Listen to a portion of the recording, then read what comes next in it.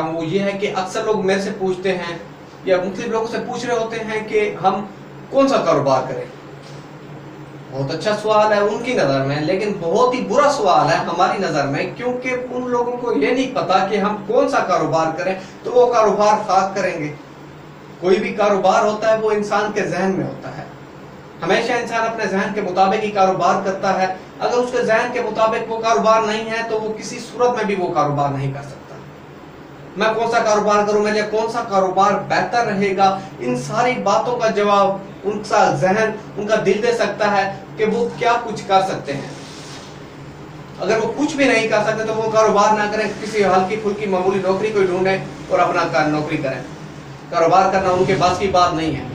अगर हाँ अगर आप जल्दी पुश्ती कोई कारोबारी हैं, आपके वालदेन, आपके दादा पदादा कारोबारी हैं तो आप लाजमी वही कारोबार ज्वाइन करें, क्योंकि आपके बुज़ुर्गों का तजर्बा है उस कारोबार में, वो कारोबार आपको बहुत ज़्यादा सूट करेगा। क्योंकि आप बचपन से लेकर देखते हैं उस कारोबार के उतार चढ़ाव, जिस तरह लोग अपने कारोबार को बढ़ाते हैं, वो सारे तरीके का आप बचपन से ही देखते आ रहे हैं। लेकिन जो नया बंदा है, वो कौन सा कारोबार इख्तियार करे? सबसे पहले वो अपने अपने माइंड को देखे वो अपनी सलाहियतों को देखे कि वो कौन सा कारोबार कर सकता है। अगर उसका जहन, उसका माइंड ये मानता है कि मैं ये फला कारोबार कर सकता हूँ तो तब वो करे। अगर वो अपने आप को किस चीज़ में एक्सपर्ट समझता है, अपने आप को किस चीज़ में महारत समझता है कि मेरी महारत है इस कारोबार में तो तब वो जाके अपना ये कारोबार करे।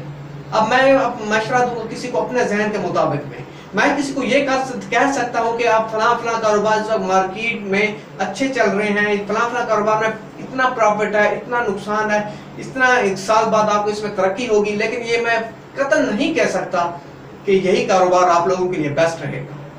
इसलिए कोई भी कारोबार करना हो, आप लोग अपने माइंड के मुताबिक सीखें, आप अपने माइंड के मुताबिक देखें, अपने इलाके के मुताबिक देखें। हाँ आप देखें आपके आसपास कौन सा कारोबार ज़्यादा हो रहा है। आप लाजमी नहीं कि वही कारोबार करें। आप उस कारोबार में देखें कि तरक्की किस तरह ज़्यादा हो सकती है। तो उसे तब्दीली ला के अपग्रेड करके आप वो कारोबार मार्केट में लें इनशाला आपका ज़रूर चलेगा। इस तरह देखें, अपनी सलाहियतों को देखें। आपके बचपन से आपके अंदर क्या गुर है? हर किसी का माइंड एक जैसा नहीं होता, किसी का टेक्निकली होता है। आप देखें, अगर आप टेक्निकली माइंड के बंदे हैं तो आप क्या क्या कारोबार सर? मोबाइलों का कारोबार कर सकते हैं, आप कंप्यूटर रिपेयरिंग का कारोबार कर सकते हैं। इस तरह दीगर बहुत से मुख्तलिफ़ कारोबार हैं जो टेक्निकली माइंड के मुताबिक आप लोग अपने के मुताबिक इस्तेमाल कर सकते हैं। अगर आप नॉर्मल आपका जहन के मालिक हैं तो आप दुकानदारी सिस्टम लगा सकते हैं। किसी भी किस्म की आप दुकान चला सकते हैं। या आप लेन देन आप मामूली लेन देन कुछ कर सकते हैं। कारोबार वगैरह में लाजमी नहीं है कि आप कोई बड़ा ही कारोबार करें। बकरियाँ पाल के आप उसको फरोख्त करना, ये भी कारोबार है। ये हमारी सुन्नत नबी है सल्लल्लाहु आप इस कारोबार के ज़रिए लाखों रुपए महाना कमा सकते हैं।